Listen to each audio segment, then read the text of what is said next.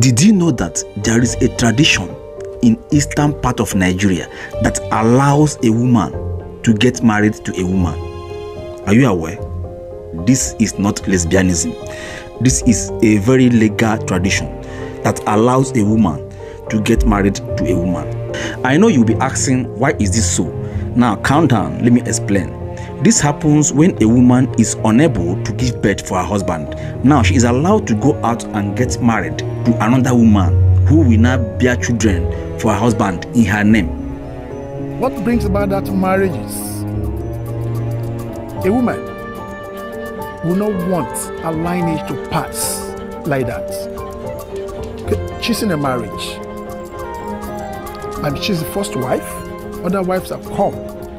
They brought children into the family, but by misfortune.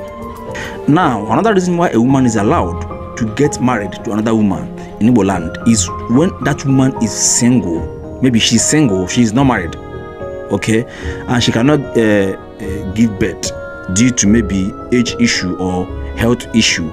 Now, this single woman is allowed to get married to another woman that will bear child for her. That child will bear her name. In this scenario, she will contract a man that will get her wife pregnant.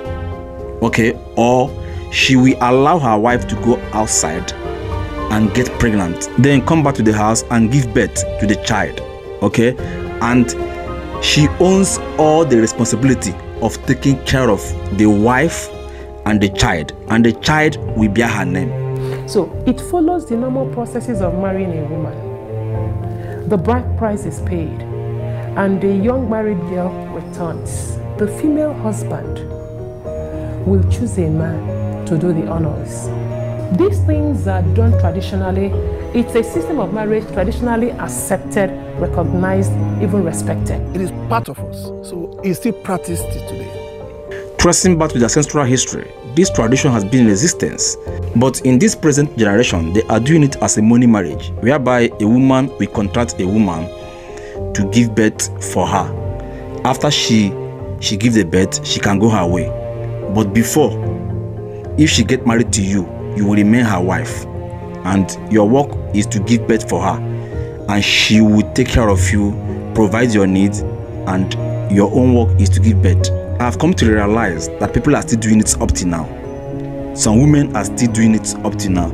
So as a woman, if you are approached with this offer, will you accept? Let me see your comment on this video.